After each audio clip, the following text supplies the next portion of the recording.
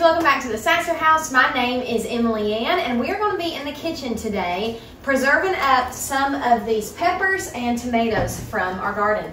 Now we have probably got four or five gallon freezer bags of frozen tomatoes in our freezer from the garden. These are some that have just been ripening up on the counter and I definitely need to get to them or get them in the freezer.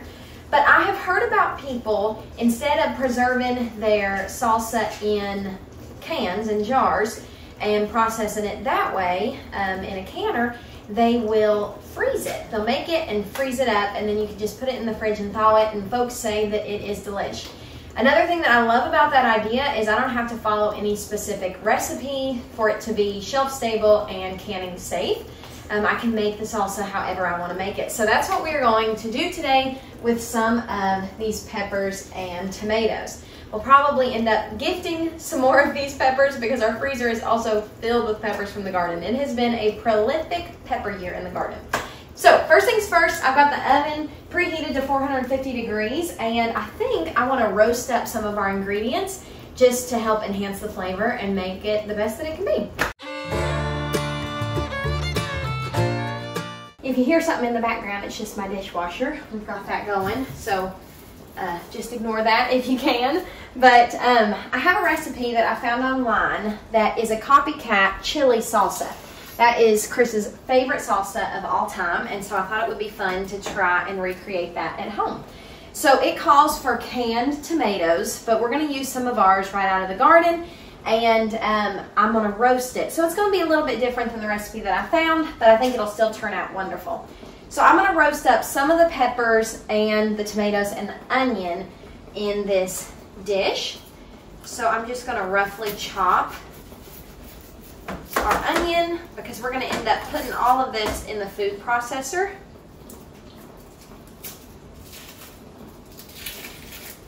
So we definitely don't have to be precise about it.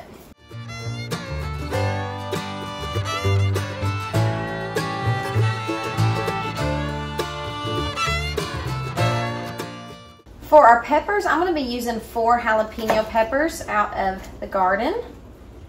And trying to decide if I want to leave the seeds in or not. We do like pretty hot salsa, but sometimes these homegrown jalapeno peppers can be quite hot.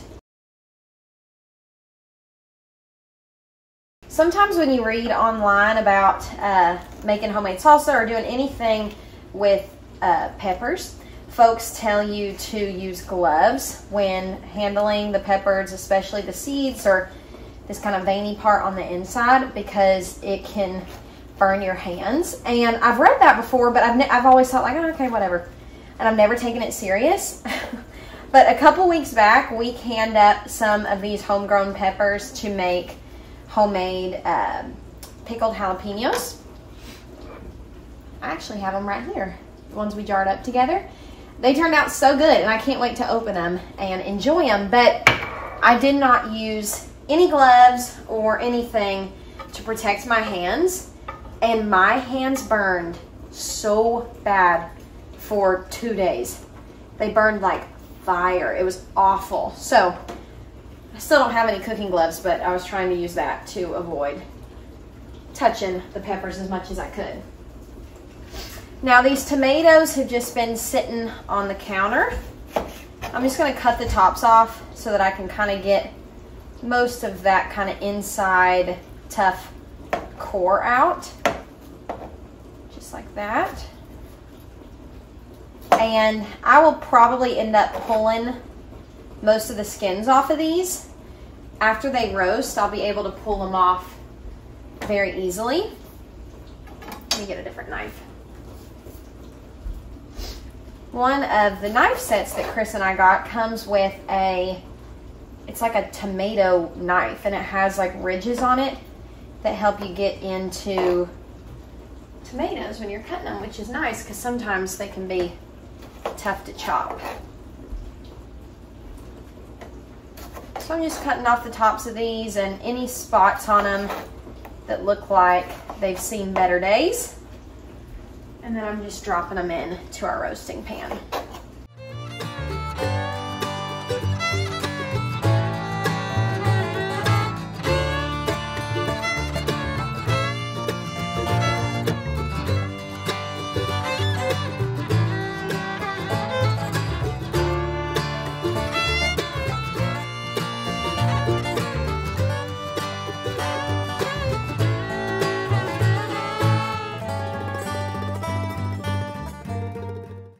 Up adding all of the tomatoes that we had over there, couple serrano peppers. We've got four jalapeno peppers. We have uh, two onions actually total in here, and Chris wanted to add two habanero peppers.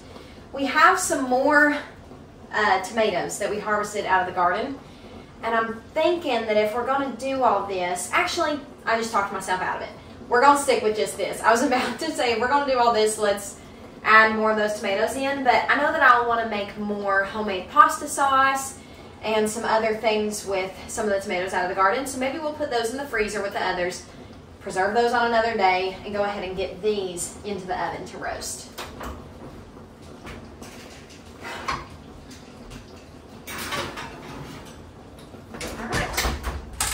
Man, it feels good to have one of our towels holding our produce taken care of. So now that we're waiting on the salsa to roast in the oven, I want to do something with our Anaheim green chili peppers. Those are these peppers right here. Um, we have a bunch of these in our freezer for later use. And then I've got some that Chris just harvested out of the garden, but these are some that we harvested a couple days ago. And I've been looking up recipes and things to do with them. And I found a green chili sauce. Oh, I'm gonna grab my compost bowl, hold on. So I've been looking up things to do with them. I like incorporating them in uh, you know, homemade queso and um, I've put it in like ground beef if we're doing any type of, you know, tacos or quesadillas. I'll brown up my ground beef and I'll cut these up and add them to it. But uh, one thing that I love about them is they are not too spicy at all. And we use diced green chilies like that you get in a little jar or not a jar, I guess a, a little can at the grocery store in a bunch of different recipes. Um, I throw them into chili when I'm making that. I throw them into a yummy chicken soup that we make all the time, um, anytime I'm making homemade queso. So we use those quite often, and I've wondered, you know, if I should try to can these ourselves and do that way, but I'll tell you, it has been a little bit overwhelming to process all of the stuff coming out of the garden this season. I've been on the road um, like crazy. Um, for those of you who don't know, if you're new to our channel, I'm a country music artist, and so summertime is my busiest time of the year, and Chris goes out on the road with me most times, so uh, that means that we get home to a bunch of produce, and I really don't like wasting food, and so uh, it's really kind of stretched me this season trying to come up with ways to preserve all of this. So when I saw this homemade green chili sauce, I thought that would be perfect. I could use up a bunch of the green chilies and we could have this in the freezer because we love making enchiladas and I thought that this would be perfect to go on that. Uh, the lady who shared the recipe, and I'll link it down below, uh, she uses her sauce for green chili french fries, which I don't even know what that is, but it sounds delish. Um, so I'll have a lot of fun getting creative with how we want to use this. I bet you could add it into soups. Um, if you wanted to make like a white chicken chili, I bet that you could just throw in some of this green chili sauce. So what I want to do is cut these up and I've cut the tops off of them and I feel like I probably need to seed these. So I'm just going through and cutting them right down the center so that here in a minute I can go through with a spoon and get all the seeds and the insides out of them. And then I was gonna maybe just throw them in my food processor. I'm trying to decide if I wanna do that or not. It would make the chopping process go by a lot quicker, but then I'd have to clean the food processor. But I think I might go ahead and just do it. Can let the dishwasher clean the food processor.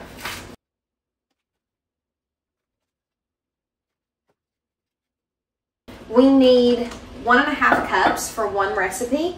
I don't know if we'll have enough to double that. I have a feeling we might, but I'm gonna go ahead and get the seeds out of these first and then we'll see where we're at. So I've been chopping up these green chilies and we have got two cups right here of chopped green chilies. Oh, as I moved that, I saw that I missed the bowl on a few. So I'm gonna add those in there. I still have all of these left to cut up. So the recipe that I'm following calls for one to one and a half cups chopped green chilies. We have two cups right there. So I'm gonna see how many we have at the end of this, but I have a feeling we'll probably be at least doubling this recipe. I don't know if we'll be tripling it.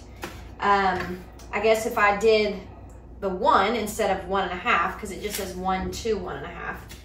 So if I'm doing the recipe based on one cup of chopped green chilies, then I could definitely triple it. Did I say quadruple a few minutes ago? I think I did. I meant triple. Um, so anyways, I'm just going through and cutting these up and we'll see how many we have to work with.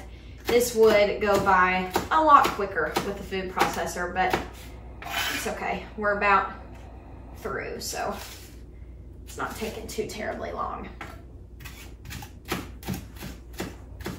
Okay, so we ended up getting, let's see, three and one third cups of these diced green chilies. So we definitely have enough to triple it. And Chris and I do like things to have a little bit of heat. We have a million of these little serrano peppers. At least that's what I think they are. If these are something different, y'all tell me. But I think they're serrano peppers. We got some serrano peppers from the co-op and I didn't do a good job this year of labeling what was what that we planted. So like as our pepper started growing, I did not know what was what. Um, and these I've left on the plant for quite some time because I thought that they would get bigger and they never did. They're just itty bitty. I guess I could Google it, but I've been busy. So I want to cut up, since we have so many of these, now like I said, her recipe doesn't call for this, so if you just want to follow her recipe, I'll link it down below. But um, I'm going to cut these up because they have a little bit more spice than these green chilies. And I'm going to add those in as well. Since we've got them, we might as well use them. And this will add a little bit more heat to our green chili sauce.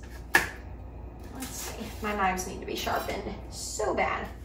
I'm gonna go through here and scrape out all of these insides with a spoon. I didn't take all the insides out completely, but just the majority of them to get rid of some of those seeds and some of the really, really hot stuff.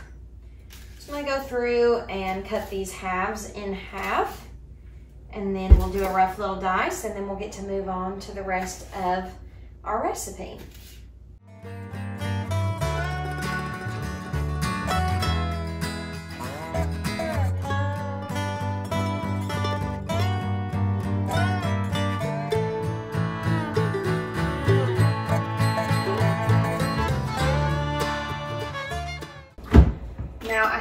Our tomatoes and onions and peppers have roasted long enough. That smells so good. I could honestly let them go probably a little bit longer, but we're in a slight time crunch. And I wanna be able to get this salsa done before we leave the house. Yeah, so those skins are gonna peel off perfectly, but it's burning hot right now. So we'll let this sit for a minute and we will look at that once we get done with our green chili sauce. All right, so in a medium-sized pot, I'm gonna turn that just on medium. We need three tablespoons of butter since we're tripling this recipe. I'm gonna get that into our pot and let that start melting. And then we need to dice up an onion. I didn't realize the recipe called for diced onion. So we're gonna get that done real quick.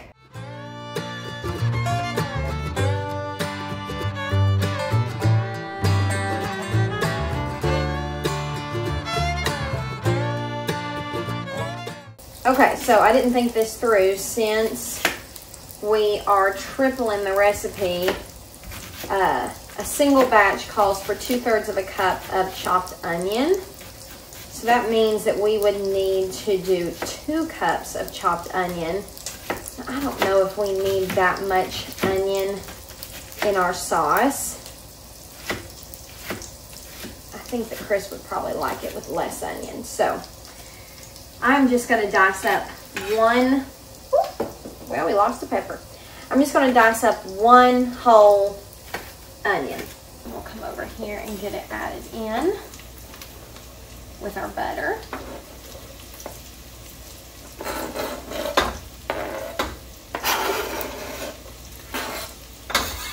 And we just want that to get nice and translucent and soft. All right, so now that our onions are nice and soft, we need to add six tablespoons of flour to our butter mixture.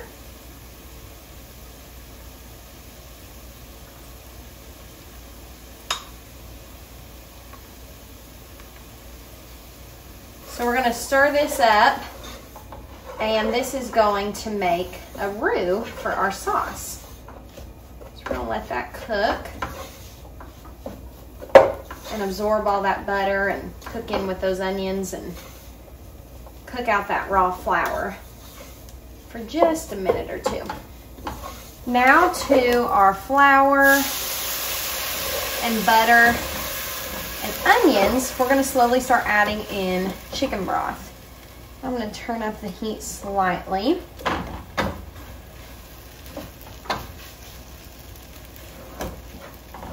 There we go. And since we are tripling this, it calls for one and a half cups total.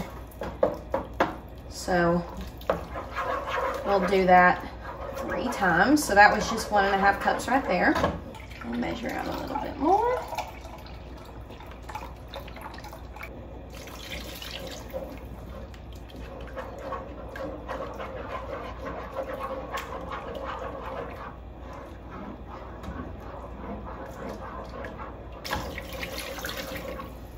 And then we need to do that one more time. I'll let that thicken up before I add the last the chicken broth. Then for seasonings, it says a dash of salt, so I'm just gonna do about that much. And then a dash of cumin, just to taste. We like cumin, so, and I'm tripling the recipe. So that should be enough. And now we just need to add in all of our green chilies.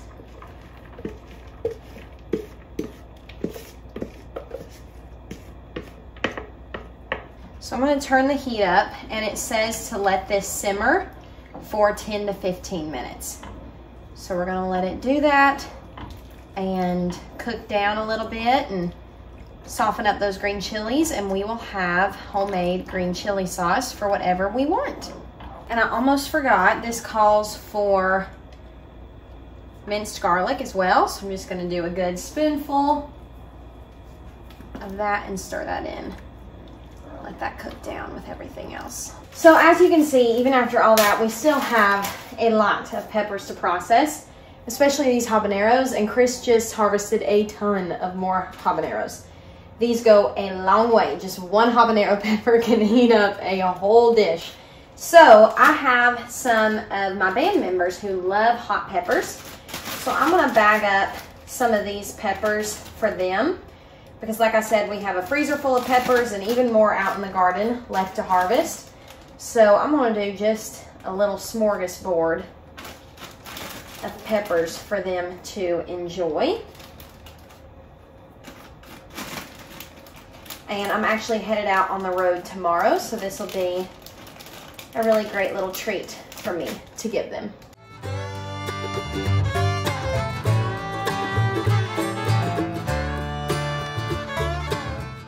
The rest of these I will freeze up in our freezer and all of these cayennes that we have we'll probably put on another string and get those drying up with the other ones that we did um, a couple weeks back. If you missed that video, I'll link it above. That's going to be our way to preserve up all of these cayenne peppers, we're gonna turn it into uh, homemade red pepper flakes. So I have my sous chef right here. He is pulling all of the peels off of these tomatoes. Since we roasted them, the peels come off so easily. So thankful for his help. And as soon as he gets done with that, we will get them in our blender. Okay, I'd say our salsa recipe is definitely at least doubled. So what we're gonna do is go ahead and add our other ingredients while Chris is finishing up. So one teaspoon is one clove, so we need two teaspoons.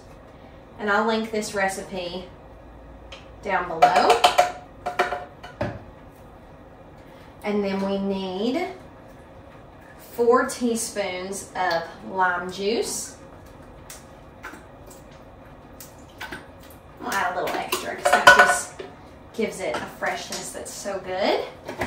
Okay, so we have our garlic clove, our lime juice. I'm gonna add in some of our seasonings now. So we need one and a half teaspoons of salt but we're doubling. So there's a half, one and a half, half, one and a half. So we double that. And then we need one teaspoon total of sugar.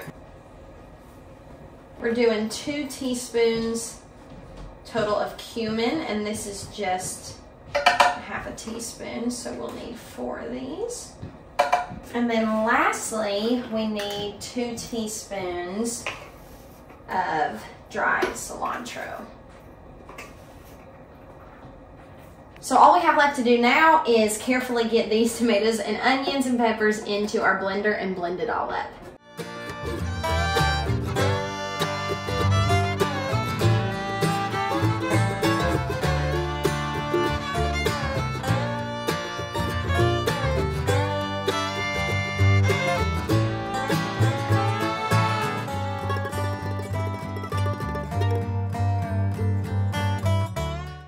Okay, so we're gonna have to do this in batches because it made so much.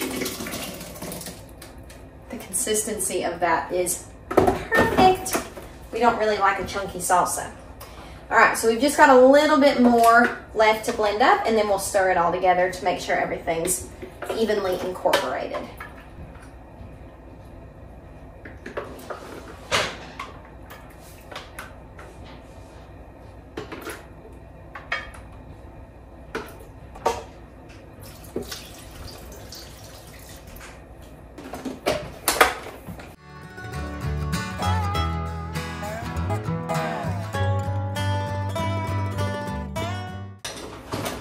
That smells so good. Okay, so as you can see, that made a massive batch of homemade salsa. And we really need to taste it to make sure it doesn't need any more salt or anything like that. I'm trying to see how much. It made us two and a half liters of salsa. Let me grab a chip real quick. Now it is warm right now, so that's something that I'm not used to in a salsa. But I'll still be able to taste the flavor, I think.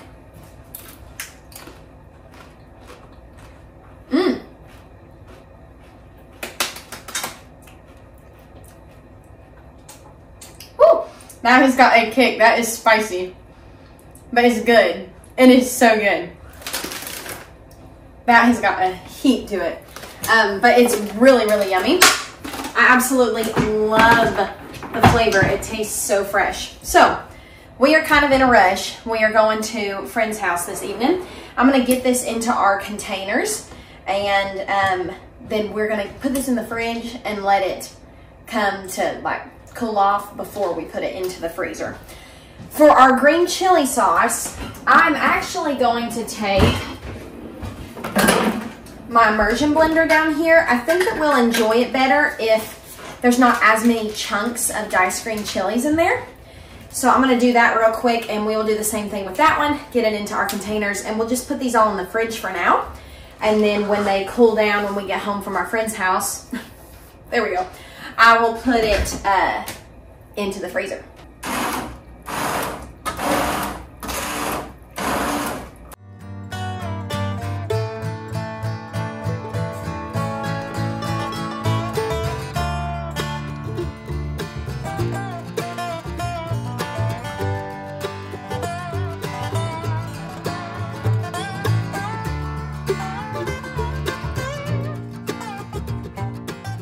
Just got home from our friend's house and I packaged up our green chili sauce And this thickened up pretty good, so it's going to be the perfect consistency for enchiladas or anything like that. I also thought that this would be really yummy if I did um, like diced up potatoes and roasted potatoes and almost like a breakfasty hash with like a runny egg on top and bacon and cheese and a little bit of this green chili sauce. I think that would be delish. So there will definitely be other ways that we use this and I can't wait to get to cook with it. And I'm really excited to get to experiment with freezing things instead of canning them. It is such a simpler process and it kind of takes the pressure off. The only downside is this stuff probably won't last as long in the freezer as our canned goods will on the shelf. Um, but if I am aware of what I've got in the freezer, then I'll know to use it up. So I would love to hear if you prefer canning for preserving or freezing, or if you do a little bit of both, and some of your favorite freezer recipes, because I really think that I want to get into preserving some of our food this way, because it just seems a whole lot simpler. We want to thank y'all so much for spending some of your time out of your day with us here in our home. It means the world to us that you would support us here and um, grow and learn with us here. And we just love y'all. So thank you for being here. Be sure to like and subscribe if you haven't yet. And we will see you guys on the next one. Bye, y'all.